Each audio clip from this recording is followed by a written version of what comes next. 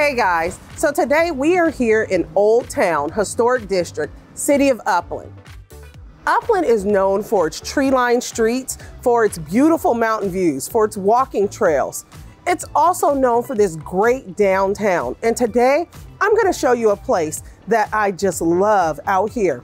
If you love to cook like I do and you love cooking homemade, let me take you to this place called Padua Pasta Makers here in the downtown city of Upland. Let's go check it out.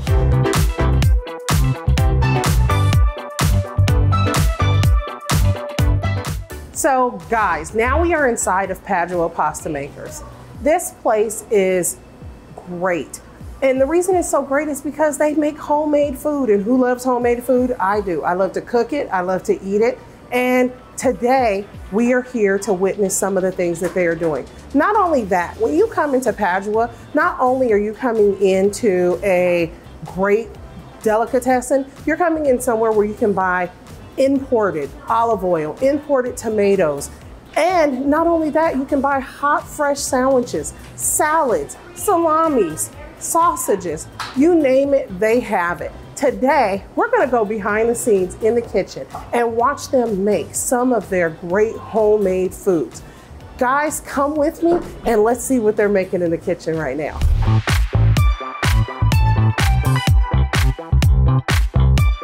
Now I am back in the kitchen with Joy. She's making fresh manicotti and she's gonna tell us what she's doing.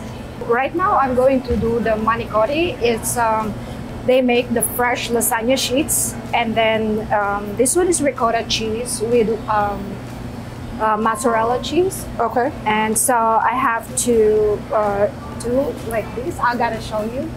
I can't wait to try some of this stuff.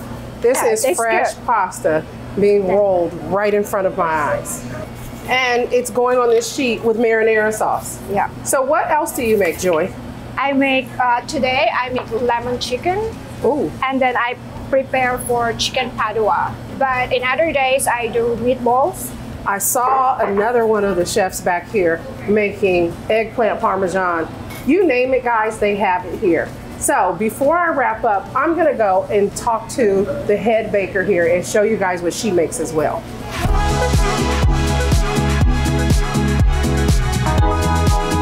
So now we are back in the bakery part of Padua Pasta Makers. And I am back here with the head baker, Christine. So Christine, what are you making for us today? Um, right now, I'm making an orange and vanilla Italian cookie with some nonpareils, little candy on top. They're kind of a traditional Italian cookie. Nice. And what else do you guys make here? Oh my gosh! What else do you bake we here? bake. We make pizza dough. We make um, calzone dough, and we make pizzas, calzones. We make focaccia bread every day. We have a specialty sandwich that we just has that bread on. Okay. Um, we make all kinds of cookies, um, big cookies to go, little cookies for the table. But um, like a like right at the front, we always sell a big, big giant cookie. So I've heard about that big giant cookie. I heard it was a chocolate chip cookie. Yes. And everybody keeps telling me I have to try it. Yes. So before I leave here today, Okay. I need to get one. Okay, yeah, because we have a number of cookies up front. We have chocolate peanut butter and snickerdoodle right now, um, but I do happen to have a chocolate chip cookie right here for you. Okay. So I Should I like try it? Try it. Yeah. Let me try it. Yeah. The reason these cookies are so amazing is that all the ingredients are just a really top quality, the highest quality vanilla. The chocolate chips are the um, Guittard chocolate chips. Okay. Very dark chocolate. Um, but the most important thing is that there's a little sprinkle of salt, uh, sea salt on the top. Wow. So you can. All right, I'm excited. First thing, this cookie is everything. So, when you guys are in Upland, stop by Padua. It is in downtown Upland. Come get fresh pasta, fresh um, sandwiches, fresh hot and cold sandwiches, salads, you name it. But before you leave, you have to grab one of these chocolate chip cookies if they have any left. Until next time.